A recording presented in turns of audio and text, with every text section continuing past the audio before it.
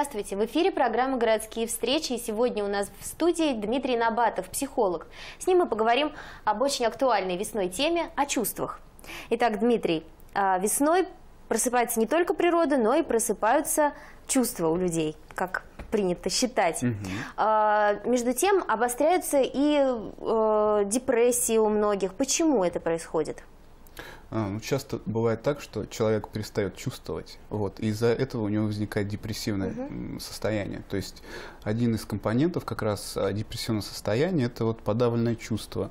То есть, а, когда человек запрещает себе впечатляться про какие-то события, вот, даже когда весна просто пришла, там листочки распустились, там ветер приятный, и порой некоторые люди не замечают этого. Вот. А от этого ну, душа как будто наполняется такой своей пищей, вот, начинает радоваться. То есть, э, если я правильно понимаю, то э, люди стесняются проявления тех или иных эмоций, и подавляя их в себе, получается, что э, начинают грустить. А, ну, в нашей культуре это вообще очень частое явление, когда люди подавляют свои эмоции. То есть у нас есть представление в культуре, например, да, то есть, что, скажем, злиться это плохо, грустить это плохо, там, не знаю, жалеть себя это тоже плохо. Вот. И часто, когда люди запрещают себе проявлять эти чувства, например, скажем, если человек запрещает себе злиться, да, или там грустить, то по сути это ну, никуда не девается, а внутри все равно остается вот такой фон такой, знаешь.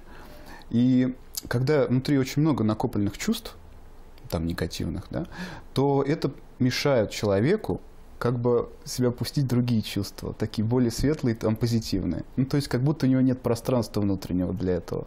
Вот. И это тоже часто бывает связано с депрессиями, когда очень много чувств накоплено, и человек просто не может впечатлиться о, скажем, о той же самой весне, о там, цветочках, ветерке.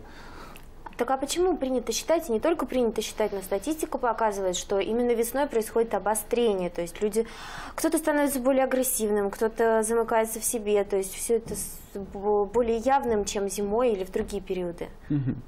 Ну, связано с тем, что природа просыпается, вот, человек как будто тоже просыпается, вот, и, конечно, а, скажем, весна, там различные периоды а, смена картин, да, даже вот у людей, которые имеют там те или иные психические отклонения, а, у них происходит некоторое обострение.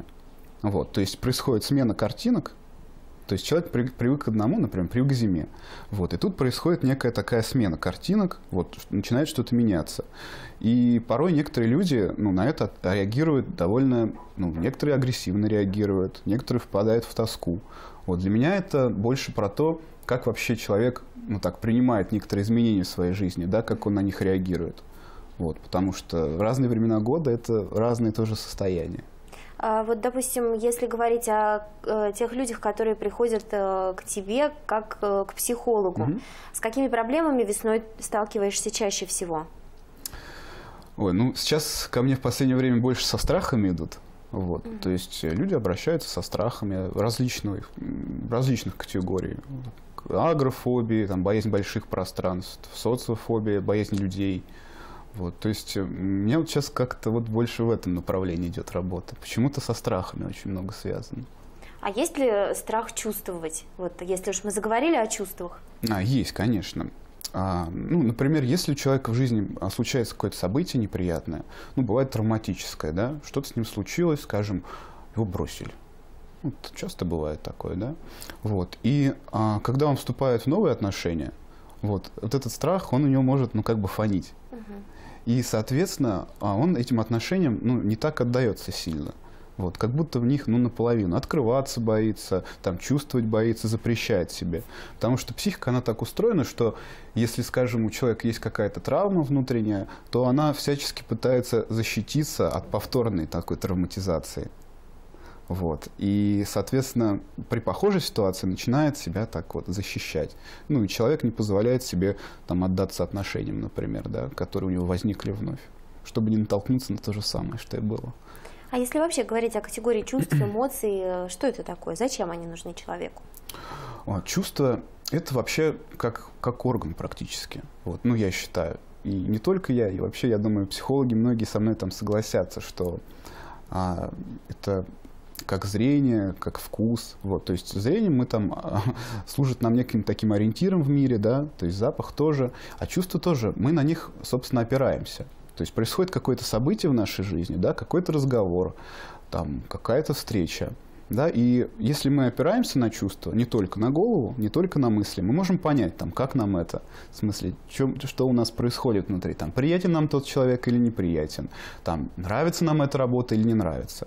Потому что у многих людей часто бывает сложность, там, скажем, проблемы с выбором, потому что они опираются не на чувства, не только на чувства, но просто только на голову. То есть решают чисто логически. Вот. А я вот занимаюсь гештальтерапией, и, собственно, основная цель гештальтерапии, чтобы человек целостно начал осознавать. Ну, то, не только чувствами, чтобы и тело подключалось, чувство и интеллект. Вот, mm-hmm. Чтобы человек мог целостно ориентироваться ну, в окружающей среде. Вот. Ну, а большинство, конечно, ну, в нашей стране тоже большинство людей больше учат думать, там, чем чувствовать. Да? То есть даже когда, скажем, родители учат своих детей, они говорят, ну, думай, что говоришь. Вот. В смысле, они не говорят там чувствуй, что говоришь, да? Угу.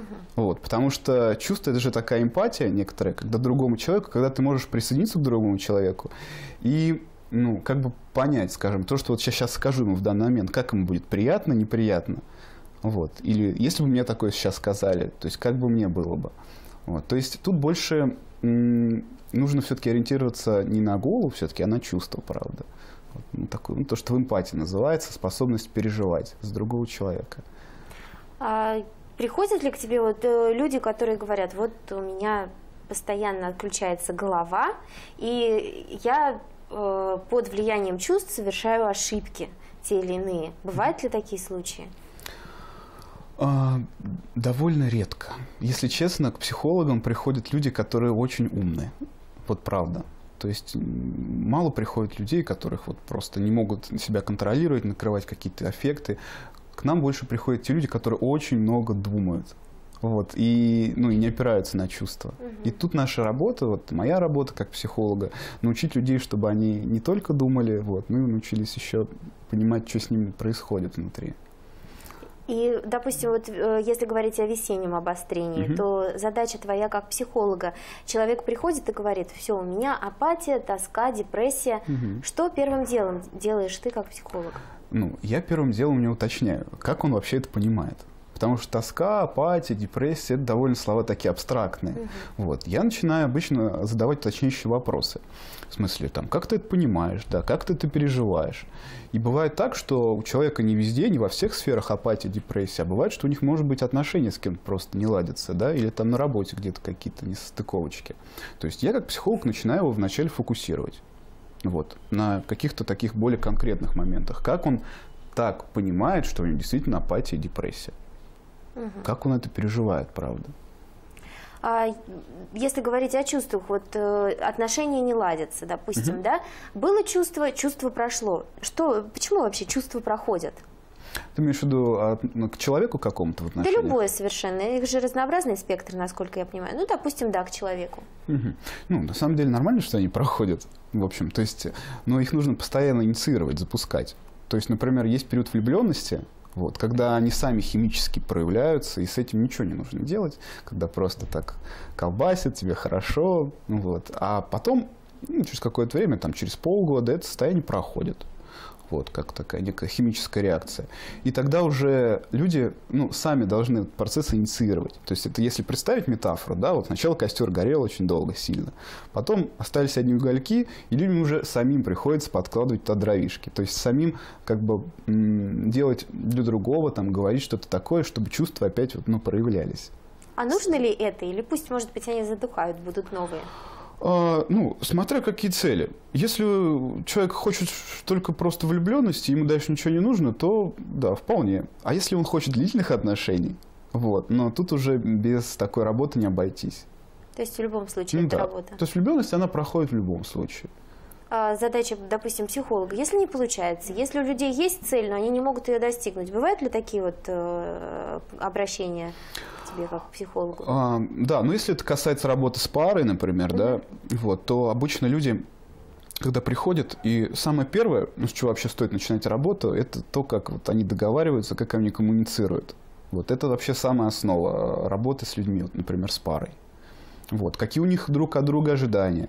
Там реальные они или нереальные эти ожидания? Вот. Кто чего хочет? Ну и как они вообще договариваются? То есть даже существуют такие, ну, прям контракты, когда человек, пара приходит к психологу, и этот контракт можно ну, там заполнить. Да, там кто отвечает за деньги, там кто отвечает там за рождение сына, там кто отвечает за времяпрепровождение. Вот. И все эти моменты на самом деле ну, полезно проговаривать. В нашей культуре, конечно, это не принято, и для многих людей кажется очень диким да, что вот мы сейчас там будем встречаться, и все как, ну, как пойдет, так и пойдет. Вот. А на самом деле, правда, у каждого же человека есть своя картинка в голове, представление, ну, каким должен быть там другой человек, да, и что я от него жду. Вот. Но часто бывает так, что другого картинка, она не такая, как у меня. И об этом ну, многие очень печалятся, ранятся. Ну и часто начинают другого человека под эту картинку подстраивать. Ну и тогда получается уже конфликт. И в завершении нашей беседы, может быть, э, как психолог, посоветуешь нашим телезрителям, у которых сейчас весенняя хандра, как им быть, что делать? Ну, если у вас хандра, ну, я думаю, что хорошо бы начать вообще с питания того же самого, принимать там витамины. То есть это самые такие элементарные способы такой профилактики. Там бывать на свежем воздухе, а, хорошо питаться.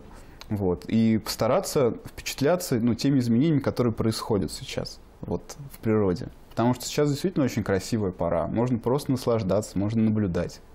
И принимать все, что происходит в жизни с благодарностью, правильно? Да, да. В нашей студии был психолог Дмитрий Набатов. Мы прощаемся с вами до следующих выпусков. Всего самого доброго.